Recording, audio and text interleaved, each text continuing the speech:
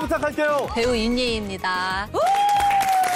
5년 전쯤 총 콜레스테롤 수치가 정말 높은 거예요. 저도 되게 억울한 게요. 저 체중인데 왜 그 수치가 높은지 제일 높았을 때가 한 280 정도였어요. 뚱뚱해도 그런 게 없는 사람도 많으니까. 아. 저희 안 뚱뚱해. 280 정도면 지금 쓰러져도 이상하지 않을 정도로 굉장히 높은 수치예요. 전 세계 사망 위험 요인의 담배, 비만을 제치고 1위를 차지했을 정도로 이걸 제쳤다고. 이 콜레스테롤이 넘쳤을 때는 여러 가지 심혈관 질환, 뇌혈관 질환 등을 일으키는 단초가 될 수 있고 원인이 될 수 있기 때문에 중요한 것이죠. 그래가지고 오늘 어떤 방법으로 콜레스테롤을 관리하기 시작한 건지 너무 궁금합니다. 지금 바로 공개하도록 하겠습니다.